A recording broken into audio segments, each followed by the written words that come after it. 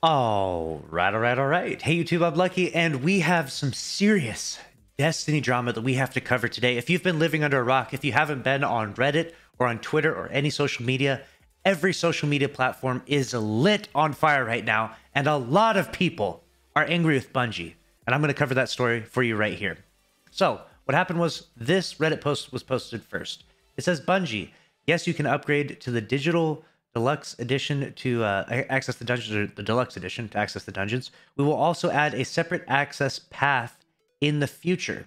In no way, shape, or form have Bungie explicitly stated that buying the Seasons Pass will come with dungeons. Many are worried that their anniversary party is an experiment to see if the community will be willing to pay for dungeons as standalone.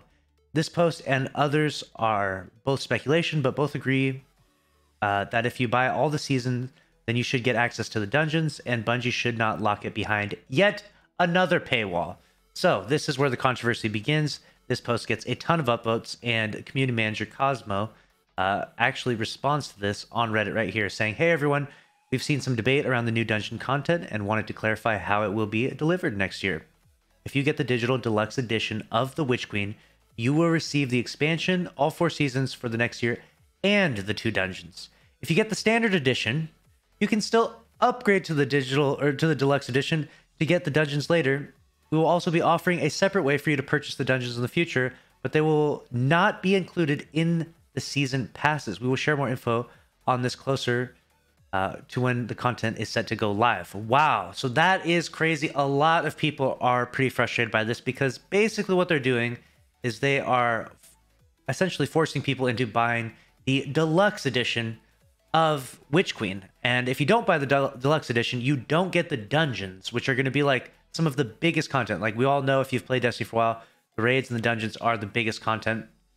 Why they're separating this, why this isn't just a part of the season pass, I have no clue. It does seem a bit greedy, and that's what a lot of people have been saying. It's like, wow, I can't believe you're doing this. I can't believe you're creating yet another paywall. It seems very greedy. It seems like, you know, we've talked about this many times in the past where, you know, Bungie was trying to separate from Activision to get away from the sort of greedy models that Activision creates but time and time again, we do see that Bungie also makes very comparable decisions to Activision. And that's not to throw Bungie completely under the bus with this one, because there is two sides to the argument, of course.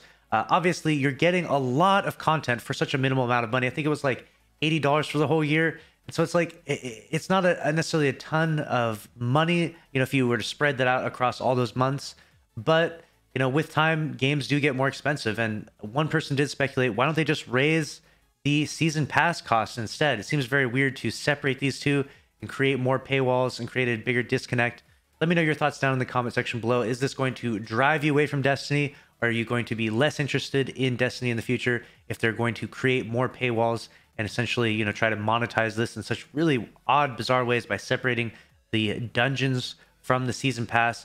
It seems very strange to me. Doesn't seem like the way Bungie should do things, and a lot of people are giving them a lot of flack. Now there are people arguing the other way, you know, saying that you're getting so much content, you're getting so much, you know, time able to play in this game, so you really have no place to complain, which is a fair argument to some degree, but I can't help but feel like separating the dungeons from the season pass was a really bad move. And I think that Bungie might retract it. We'll see. I mean, the heat is on. There's a lot of pressure. If you look all across social media, look at all the replies, people are not happy at all. And that is the drama from today. That is the big scoop. Let me know your thoughts down in the comment section below. And make sure to subscribe with notifications on if you want to stay up to date on all the news in Destiny 2. I'll see you in the next one. Thanks for watching.